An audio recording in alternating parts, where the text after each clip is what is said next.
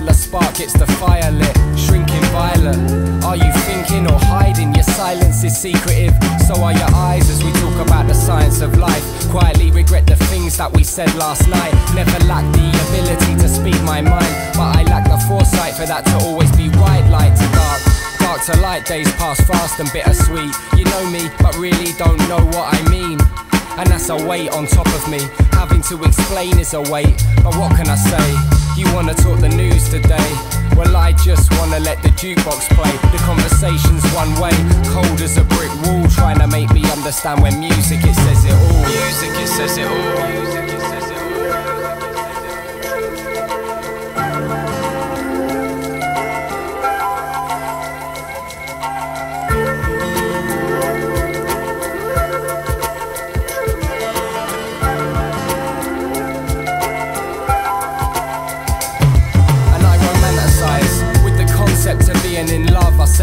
Saying nothing at times. And things are never just black and white, it's grey areas that spoil skies. It's the same with life. We can argue over who you think's wrong and who's right. All I know for certain is we've wasted tonight. I'm not trying to change your mind, I'm trying to explain to you mine. Please listen, don't sigh. Life goes by and back around. Regrets in the background, but I guess they don't matter now.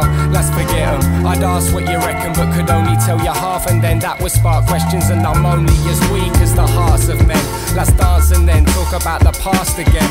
Let's drink like last weekend. I don't think that your words match your eyes, so I only read them. So I only read them.